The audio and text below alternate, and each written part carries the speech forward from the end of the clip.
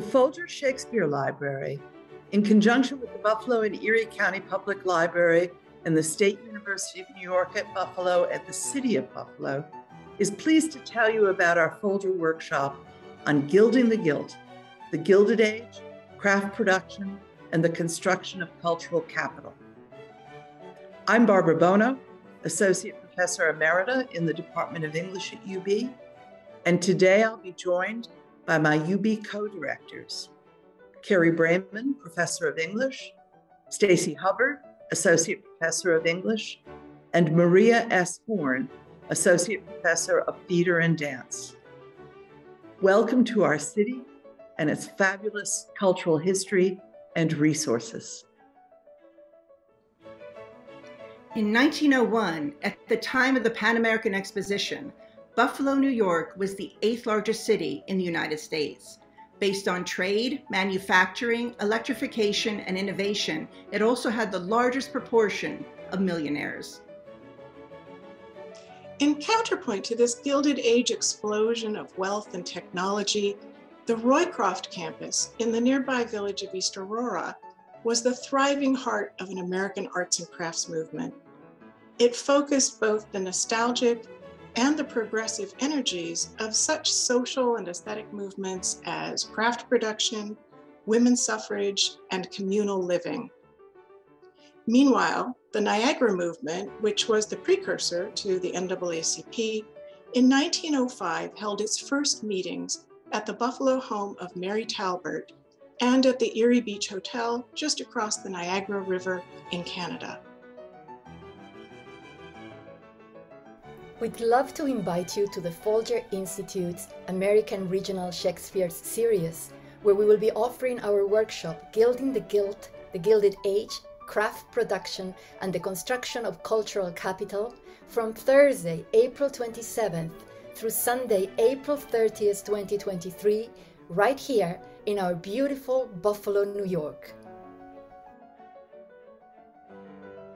This workshop will highlight the extraordinary bibliographical resources accumulated and created in Buffalo during the late 19th and early 20th centuries.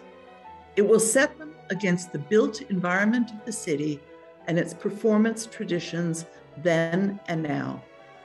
Central to this exploration are the rare books collections of both the Buffalo and Erie County Public Library and the University at Buffalo Special Collections, anchored by two sets of all four 17th century Shakespeare folios.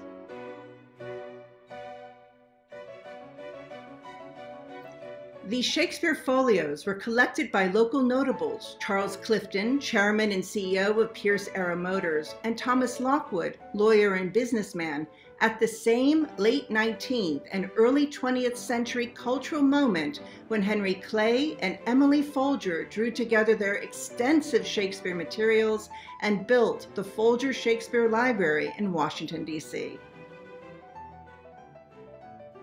Here is Shakespeare folio scholar Dr. Emma Smith of Oxford University when she visited as part of Buffalo Bard 2016 400 Years Since Shakespeare on the value of our holdings. So today I was talking about the first collected edition of Shakespeare's plays. It comes out in 1623.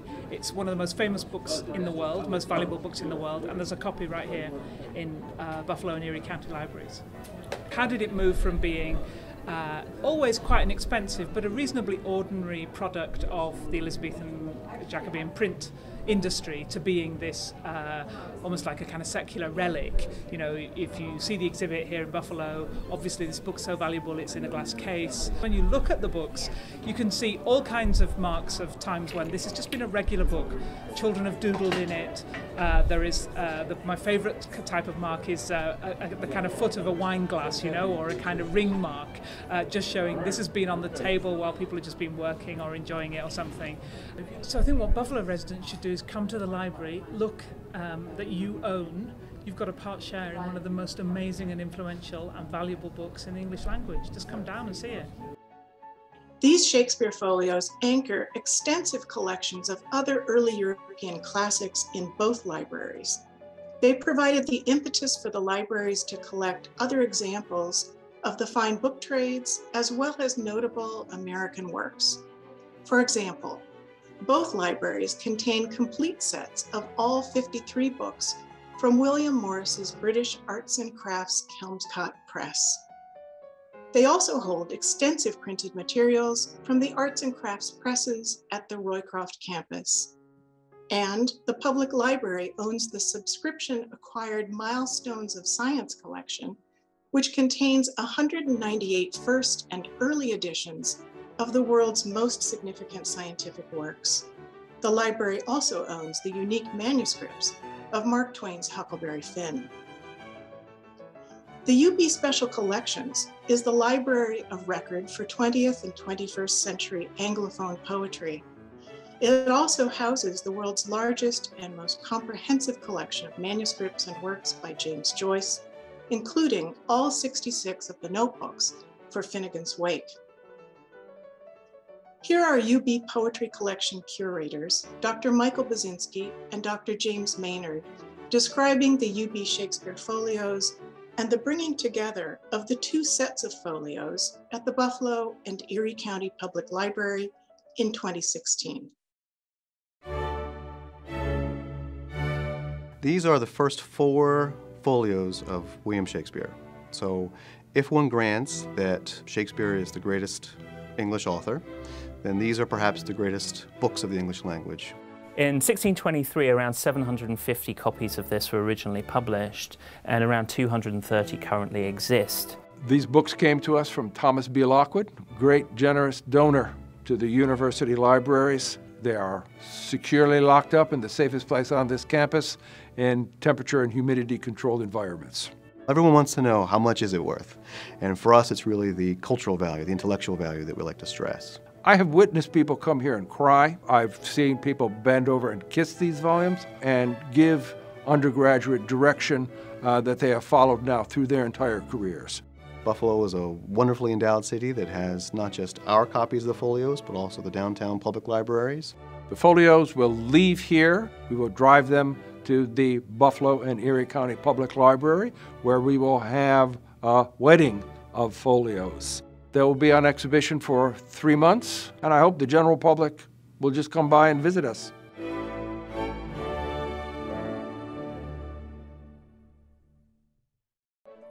Our workshop will be introduced on Thursday afternoon and evening by an illustrated public lecture, Setting the Stage, creating a fictional narrative of Buffalo in 1901 by Buffalo born novelist Lauren Belfer, author of City of Light and a roundtable by Professors Ruben Espinosa, Joyce MacDonald, and Scott Manning Stevens discussing the regional, racial, and indigenous reach of Shakespeare in America. These opening events will be followed by two intensive days of guided experience for the workshop participants in the archives of the Buffalo and Erie County Public Library and the University at Buffalo Special Collections.